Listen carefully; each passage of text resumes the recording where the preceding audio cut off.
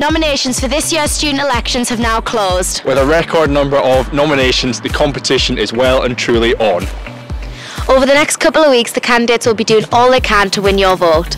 The campaigns are about to go live. Manifestos will be dropping all over social media, so keep your eyes and ears peeled for the candidates trying to get your vote all around campus.